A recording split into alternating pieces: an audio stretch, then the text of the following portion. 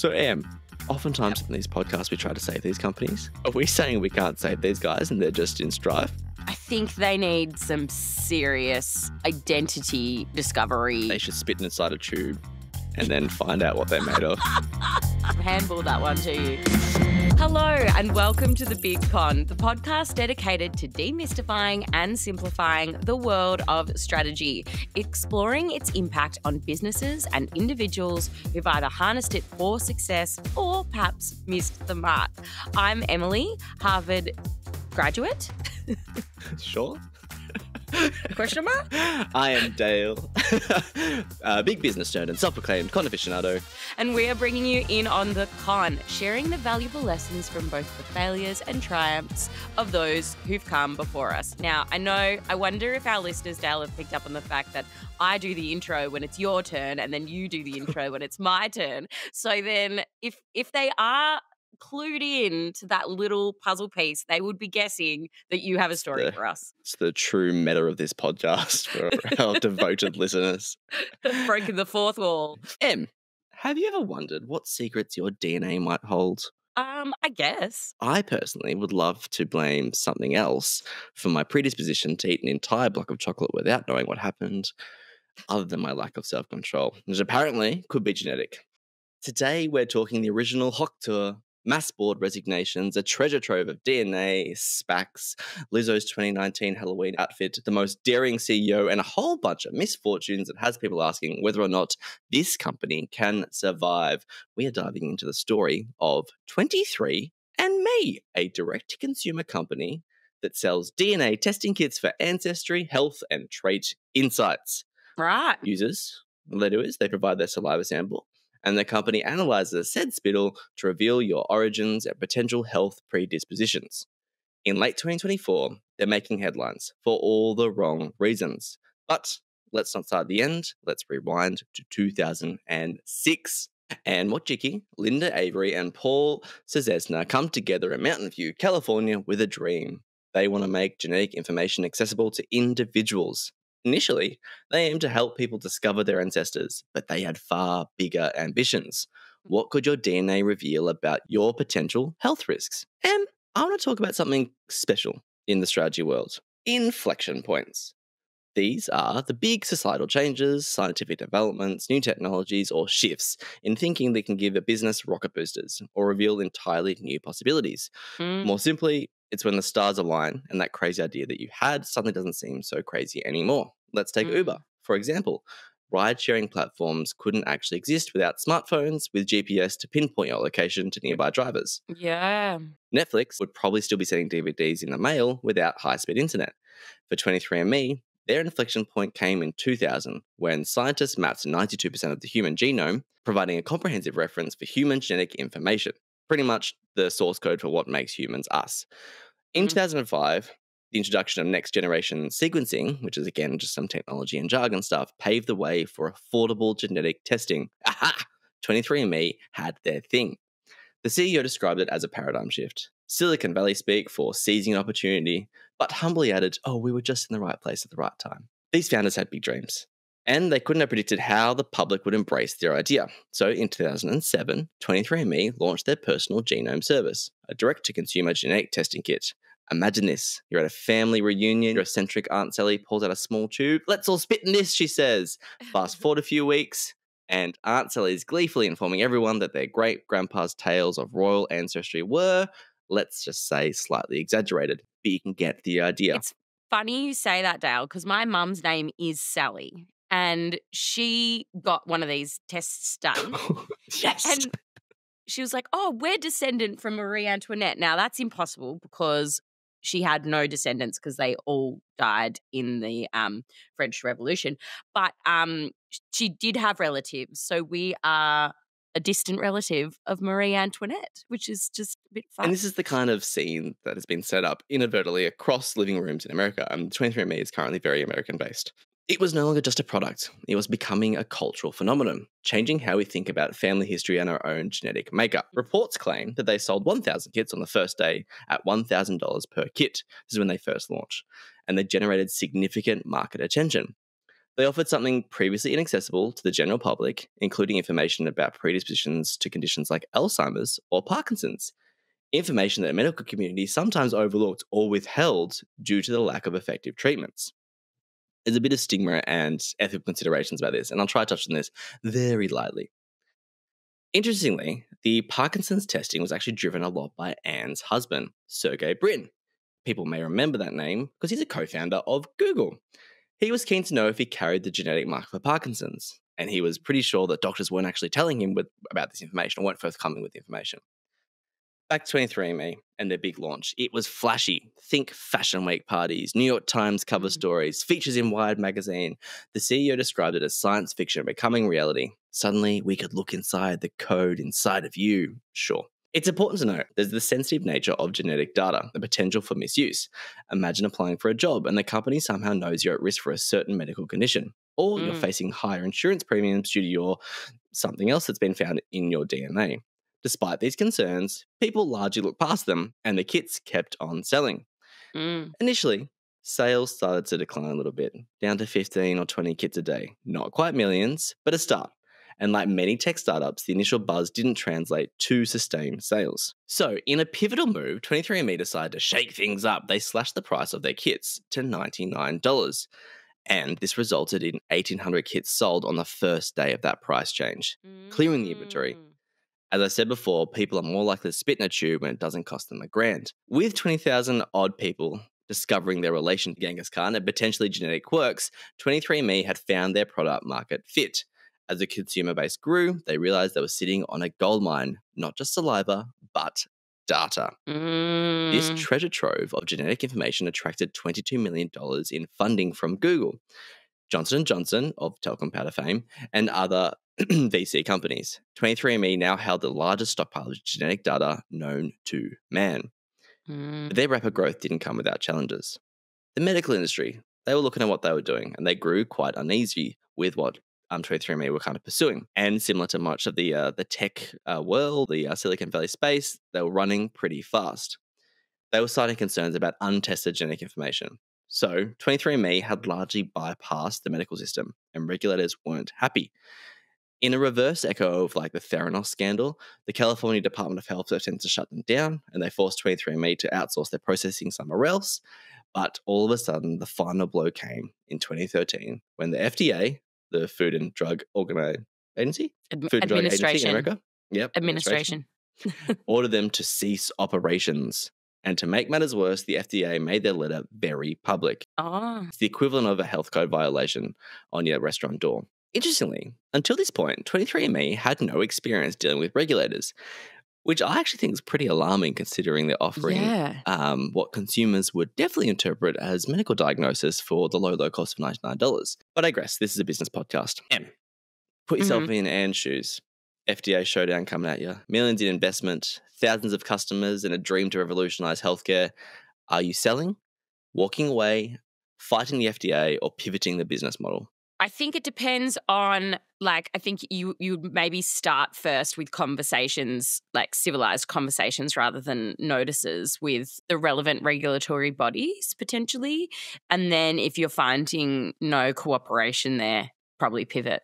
Well, that's kind of what they did, which good on you. Well done. You're a good, you're a seasoned CEO. Three votes to you. um, I phrase it as 23 chose to fight. And what they, by fight, I mean they stayed in the game and they Yeah. complied with the FDA's demands. They lacked so much experience with regulatory agencies, so they had to bring in outside help. The FDA wanted to see everything. Of note, they only shut down the medical um, and genetic testing space. So they're still doing the ancestry product at this stage. hmm Well, the ancestry stuff is like you know it, it's It's fun. It's almost like yeah, it's fun, and it's like it's not the Lower same. But you you can go see a psychic, and they can tell you whatever they want, and Correct. there's no consequences. Correct. So yeah, as opposed to someone being told they may have Alzheimer's and changing their Cor- entire way they live their life. yes, The FDA, they wanted to see absolutely everything consumer reports, proof that consumers understood those reports. They even went as far as testing the consumers on their own genetic data, making them fill out an actual test on what the paper that they were receiving. 23andMe had to be an open book, revealing every test and every methodology that they did. And their efforts paid off. In Mm. 2015, they relaunched under brand new conditions. Some of those conditions were pretty obvious. A very a clearer user interface, had to put in educational tools like a share and compare functionality, and a very prominent health disclaimer. The newfound relationship with the FDA led to collaboration on genetic health risk reports, so more of them. It was actually something that really strengthened them further. It means they're able to do FDA authorized reports on conditions like type 2 diabetes. Mm. So some of these things kind of actually helped, like going through the long way, doing the work properly, helped 23andMe. Well, I think actually, now that I think back on it, I missed asking a really fundamental question around what do we do next? And one of those questions is do you believe in the product? Because it sounds like that this product, they did, they believed in it. And so we're able to go through these sort of, this sort of rigmarole. Which is funny you mentioned that because this is where the stormy seas are coming Oh, no. soon. because they're still in the heyday. They've just got regulatory approval. And this kind of brought legitimacy to 23andMe, as much legitimacy as spitting in a tube can bring. Mm. Consumers are busy discovering their ancestral roots. 23andMe was planting the seeds for something much bigger.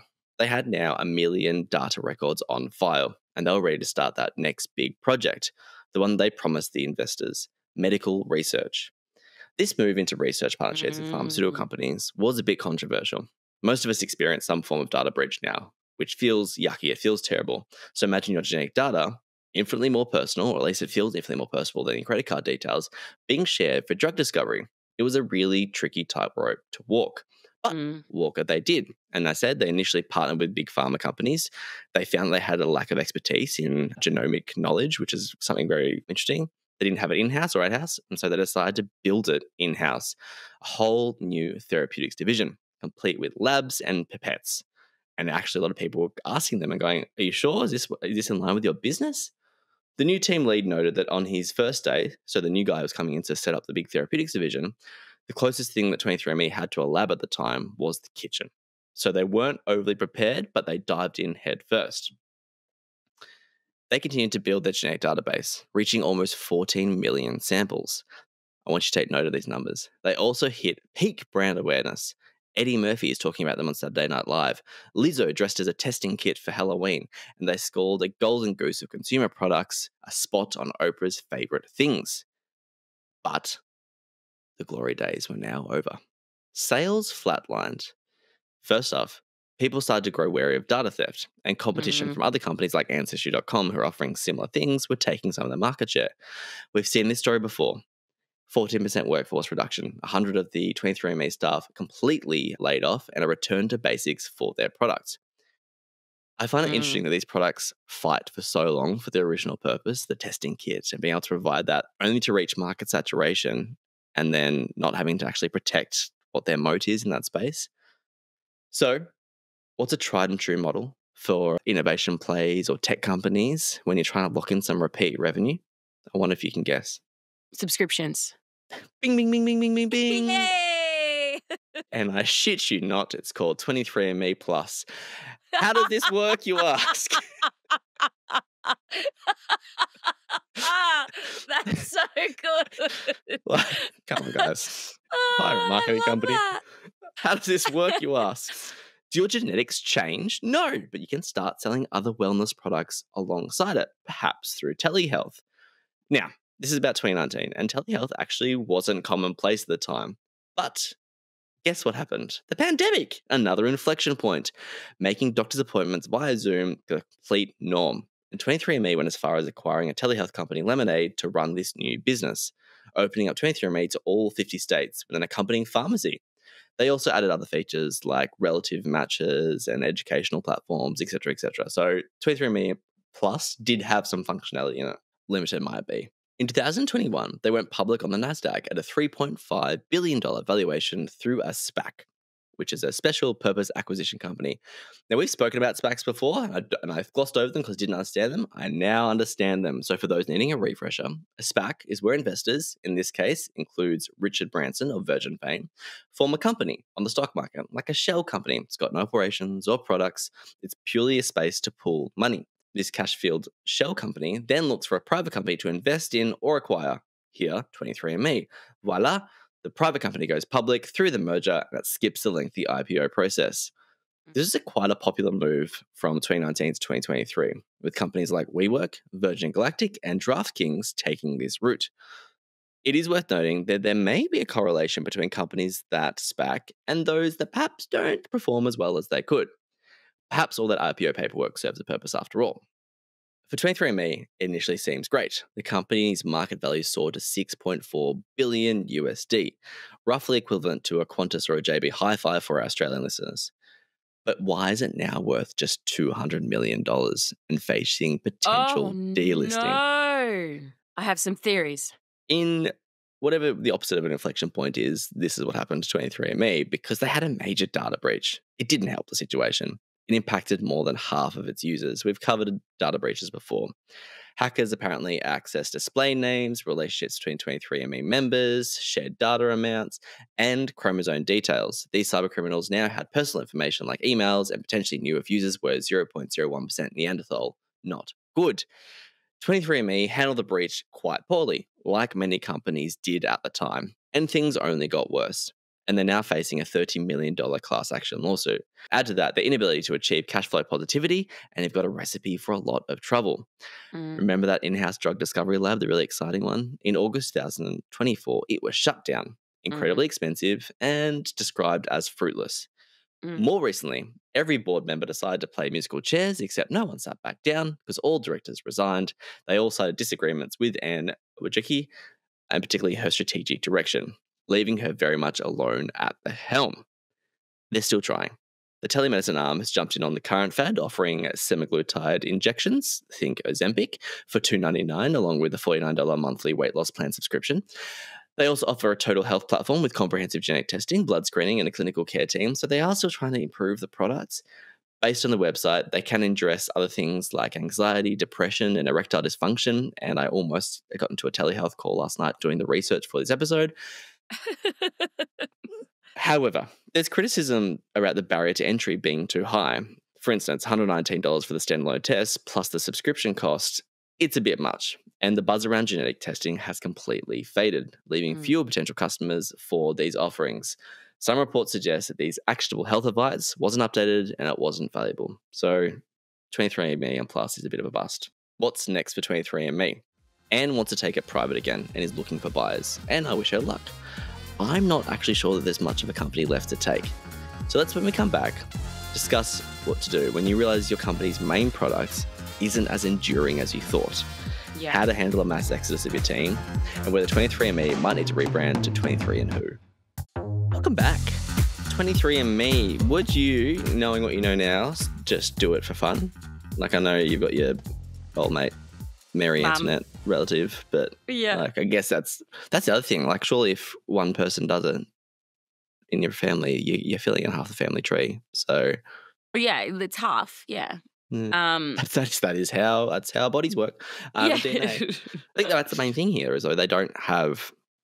It's a product with very very limited repeat appeal. Yeah, oh yeah, you you don't use it again because once you know, you know. And that's the gimmick. That's that's get you in the front door. I think that there's a really interesting thread that sort of goes with 23andMe. How they started, what the main business was, what their passion was, and what they wanted to do, and where they wanted to go. I think we're all a bit confused. Like, I don't think they really understood who they were. Like when you start a business, right, it's really risky. Like it's really risky. We talk about business failures all the time, and there's no sign of us running dry on material. Like, like business 85% fails. of statistics are made up, but I know that something like 90% of businesses fail in the first year or something, some absurdly so, high stat. It's ridiculous. It's yep. such a um, and when you're starting up a business that has to have such a big infrastructure like testing facilities, it's a massive risk. And so the reason that the most compelling reason for these people to get into this business that you cited was to find those markers, to find those genetic markers, um, and a trusted affordable, accessible way to find those markers. I personally don't want to know because I don't want mm. it to impact the way there is very there's two schools of thought in this. There's the people who are blissfully ignorant until it hits hits it like an anvil, and those who want to do everything to be able to protect. I don't actually know where I sit. Like, Yeah. I I think I would. I feel like I would want to peel back the, the curtain and then live in regret that I peeled back the curtain, knowing me. so I think, yeah, it's very interesting from the genetic standpoint. Yeah, and like so, but that, but there are people that want to find that, so there is a market there for sure. So, but then I guess like part of it, the ancestry thing, I guess a gimmicky part of it to Mm. find out. I mean, yes and no. There are like some people want to go down the ancestry trail for really personal reasons, such Mhm. as potentially they're adopted and Mhm. they want to find out more about um, who they are genetically. Um, you know, so there are real, um, you know, Between you and me, though, I'm not using ninety nine dollars service for that. I'd be doing something a little bit more what feels legitimate. Depends if it's trusted. But now you know that all the FDA approval and Yeah, stuff they right. went through, you would do, you would do it. So it's It does have Like, the brand recognition. Yeah. Hundred percent. So you can go, oh, this is really trusted, and they can put their FDA approvals everywhere and all this sort of stuff. I think maybe potentially an issue, and they say it's which is so funny because it can be so contradictory when it comes to running a business. But it's like always know where you're heading and always um, know how to grow and to and to understand when your market dries up and all that kind of stuff. But I wonder, Dale, if they were thinking maybe too far ahead and trying to jump to the next phase before they really solidified themselves as a trusted provider or I think there's probably two bits to think there because they're a loss making business in the initial. Like, my Mm. assumption is that the average genetic test is going to be more than $99. And so they're banking on the Mm. fact that they'll be able to convert whatever genetic information they have into data, and that's where the value is. Mm, I wonder, in terms of when they were doing that component, so I think you're right. I think they were like, cool, that's the end goal. We're going to build this giant genetic database.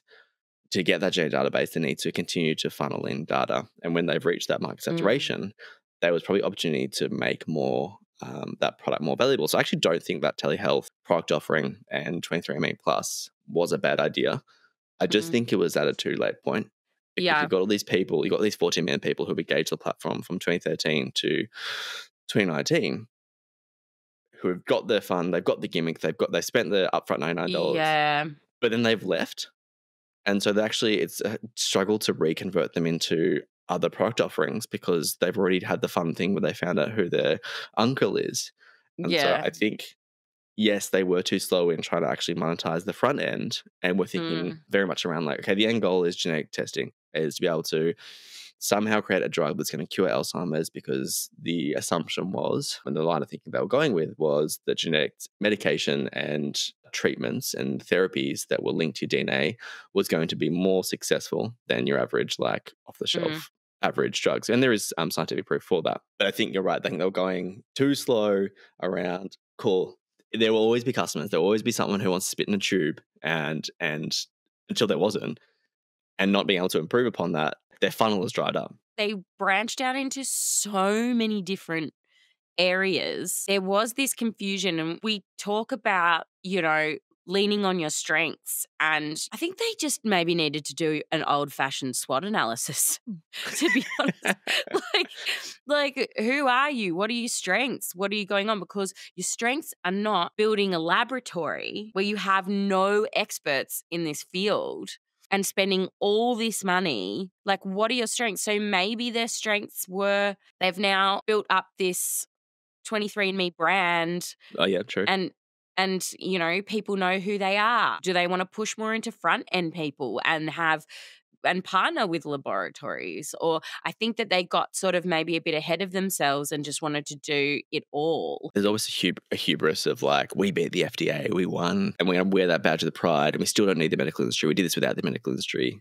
yeah but like this and this i think is the fundamentally wrong attitude the fda aren't people to beat they are people that have regulations whether they're well established or misguided, regardless of your opinion of the FDA, they exist to regulate things so that people don't get duped and they or don't hurt or, or hurt or Yeah. you know it's it's it's they're not someone to beat their tests they're there to ensure that people are providing a good product. So if you've got a good product, go for it. I think the other thing about this business is that they went from something that was quite mundane in Mm. terms of like or you know a gimmicky which is like hey you're marie antoinette's blah blah blah to mining genetic data and that's that's a really big jump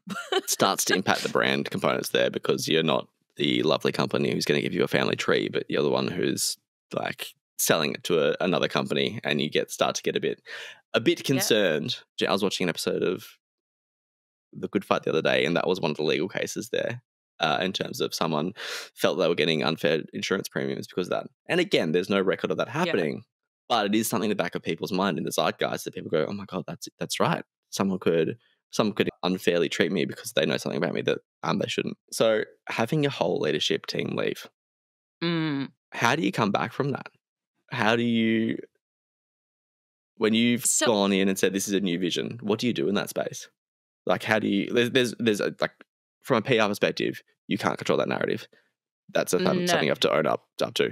it's too late by then because the, the there will have been writings on the wall way before you have a mass exodus. That is not the sign that you go, oh my God, now we've got to do something about how we're operating because obviously something's gone wrong. There's got to be a million other signs. It's like, Dale, you've got two tiny children. If there gets to be a huge tantrum and a scream, there are It's signs before it's that usually that you seven just o'clock ignore. and they haven't had a nap today, and you're like, oh god, I should have put them down long long ago. Yeah. Yes, exactly. It's like it doesn't. Nobody just goes from zero to I'm out of here. Like, do you Mm. know what I mean? Like because they made one decision. Oh, well, Mm. then I'm leaving. That's not how it works. If you have trust in the company and the leadership, and they make a decision that you question, there should be an ability for you to follow up, understand why, blah blah blah. There's gonna have to have been signs prior to that that you completely missed like um maybe tension in meetings maybe um s- slow but sure disengagement there are little things that are really important indicators because a lot of the time your employees aren't coming to you going I have a problem. They just slowly disengage if you are not providing a platform for them to speak up. And I think maybe that's probably what happened in that. Well, we actually, we- we'll never know what happened inside that boardroom. But it's very interesting that what happened was there wasn't a dethroning like we saw with the ChatGPT situation where they ousted the CEO. Yeah. That shows a real lack of faith in the entire product when everyone's like, well, uh, Yeah. I can't put my name on this as a director anymore. I'm not going to be on Yeah, this I'm board anymore. here. I need to leave. And so I, I, I actually don't have a good answer around how you Well, navigate what this. was the product? By the time they all left, what was the product? I don't know. I'm confused. It seems more like it's a telehealth product now. Like that's where the pivot is. They've just gone to this telehealth but you product where just they're going to it sell seems pharmaceuticals. like I, you know, that's not good. And this is where I was go back to, even if you go back to what was their gimmicky product around the Ancestry.com product, in Australia, you can get that for $50 or a 14 day free trial. So there's like, even from a cost perspective, the gimmick that got people in the front door is not there anymore. So, Em, oftentimes in these podcasts, we try to save these companies. Are we saying we can't save these guys and they're just in strife? I don't know because I'm never. I'm always. I'm always There's always a way. to really throw some. Like I don't want to throw the baby out with the bathwater. Mm. Um, I think they need some serious identity discovery. They should spit inside a tube and then find out what they're made of. I really, I, I went like that for you, didn't I? I've handballed that one to you. They really need to figure out who they are, ironically, because that it's it's unclear. My final comment is, and I did a lot of research on from the CEO speaking, and I was, and I realized halfway through, I'm like, I wonder how much is of the truth of the company, and how much of it is the Silicon Valley. We're going to change the world speak, and how much maybe that got in the way of the mission and Mm. vision, and the actual Mm. operations. Sometimes you got to do the work, and you can't just be speaking about your mission and vision the whole time. Hubris is you know, what goeth before the fall, which is a, an amalgamation of a few different sayings. I believed you, and I'm really serious. I would happily fade to black on that note. well, listeners, there you have it. You now understand a little bit more of the con, and we hope that you um, can find out whether you're related to Genghis Khan in the future. If you haven't already, please subscribe to the Big Con podcast. It not only supports us, but it means you will get all the latest episodes straight to your device. And don't keep all the fun to yourself either. Share the con around your mother, your aunt, your best friend's brother, and tell them to check us out on all their favorite podcast apps. For any further details, head over to our website, thebigconsultingagency.com, and sign up to the mailing list. Bye for now. See ya. This podcast was recorded on the lands of the Woiwurrung language group, always was, always will be Aboriginal land.